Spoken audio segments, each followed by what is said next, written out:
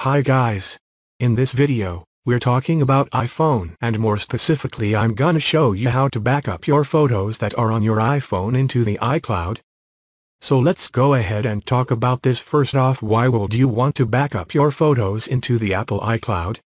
Sometimes your iPhone are lost stolen or damaged beyond repair.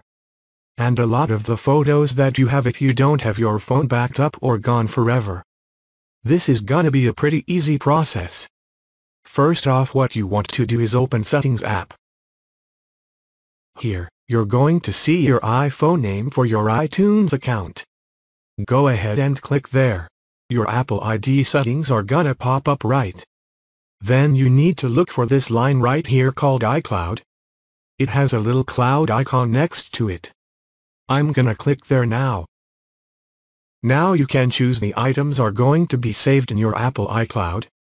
But if you want to go ahead and save your photos into your iCloud, click on Photos. I'm gonna click there now. Alright, it's turning on. Once you turn it on then you have these two options. Here, you can optimize iPhone storage or you can download and keep originals. So if you let Apple optimize the photos, it's going to increase your storage space or at least increase the amount of photos that you can keep in your storage especially. Once you've done, you can back out. If you don't have enough iCloud storage on your iPhone or on your Apple ID device, you can go ahead and click on this liner here called Managed Storage. This drop-down menu happens and you can go ahead and click right here to choose a larger storage plan. You will be prompted to upgrade your storage space. The good news is that iCloud storage is cheap.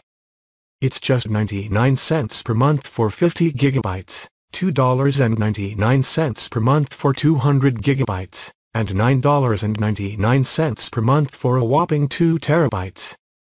Hope something helps you.